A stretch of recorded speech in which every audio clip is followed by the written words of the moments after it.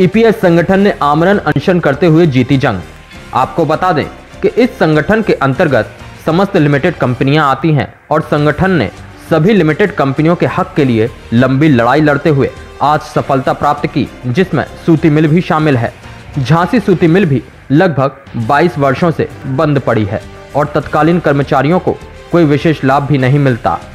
झांसी सूती मिल के कर्मचारियों की ज़िंदगी बड़ी मुश्किलों भरी गुजरी है।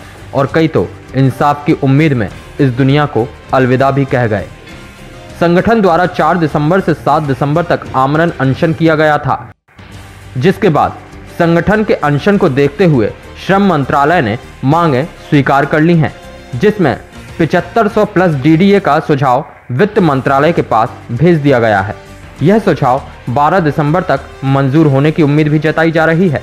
इस अनशन में झांसी बीएचईएल के S K Awasthi Balwan Singh Yadav, Mukesh Kumar Verma, R K Sharma, Lakshmi Narayan व नंदी का विशेष योगदान रहा।